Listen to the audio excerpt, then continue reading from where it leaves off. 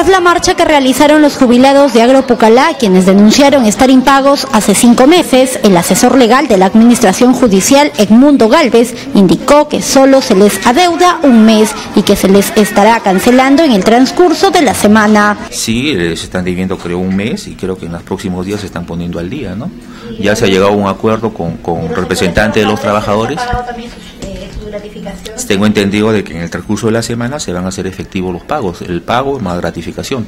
En el caso de los jubilados tengo entendido yo ¿no? que, eh, se les está debiendo unos un, mes. El también litis consorte resaltó que esta deuda viene siendo arrastrada desde el tiempo en que estaban al mando de la empresa la Comisión de Trabajadores. Y si existiera algún mes que se le deben son es un mes eh, me parece de que se quedó deudando del año pasado cuando una comisión estaba administrando de hecho la empresa Pucalá, ¿no? Este, incluso tengo entendido que se adeuda también un mes, creo, a los trabajadores del año pasado, pero eso se está pagando, digamos, este, prorrateadamente, ¿no? A los, a los trabajadores exactamente del mes de octubre del 2013.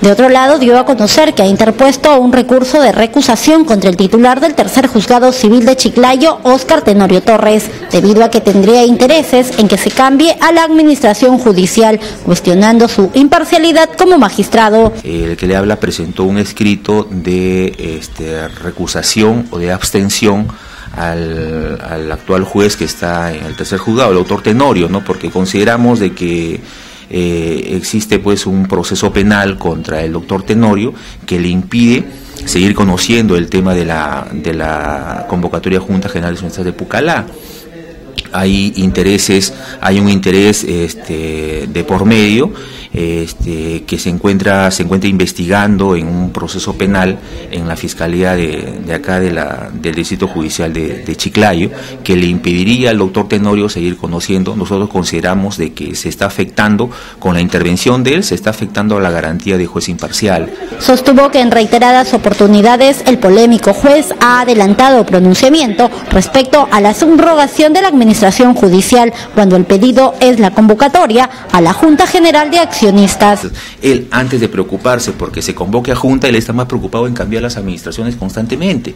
Adelantado opinión, hay una foto en la que eh, aparece eh, él con uno de los administradores judiciales anteriores, el, señor este, Cayo Topa, que fue administrador judicial de, de Pucalá. Entonces, él viene ya con un interés predispuesto en el tema de Pucalá ya desde hace un buen tiempo. Cabe indicar que este viernes vence el plazo para que el juez Oscar Tenorio responda al recurso de recusación que interpusieron los administradores judiciales.